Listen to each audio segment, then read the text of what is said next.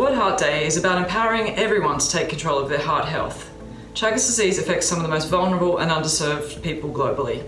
We hope that World Heart Day will not only raise awareness about cardiovascular disease, including Chagas disease, but will also empower Chagas patients to take simple steps to optimize their heart health. Despite the fact of having been discovered over a hundred years ago here in Brazil, Chagas disease remains a big public health challenge worldwide. Chagas disease affects around 6 million people globally, mostly in Latin America, and around 30% of them could develop cardiovascular complications, such as heart failure. At this moment, Chagas disease is one of the most neglected among the neglected diseases.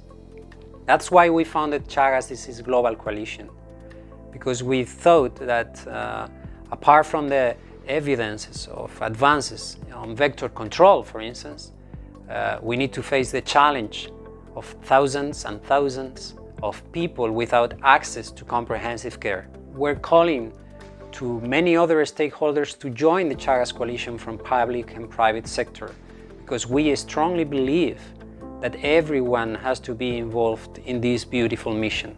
There is not a single way to fight against Chagas. The combination of different strategies and involving multiple decision makers is absolutely necessary.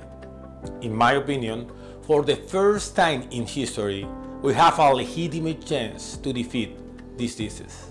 On World Heart Day, our commitment must be to change this reality and bring solutions to the patients and families who suffer from this devastating condition. Today, we are here to start breaking the silence for Chagas patients. Let's reimagine the fight against Chagas disease and ensure no patient is left behind.